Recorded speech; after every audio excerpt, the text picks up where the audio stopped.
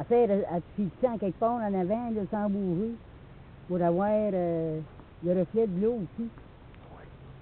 Juste là en avant.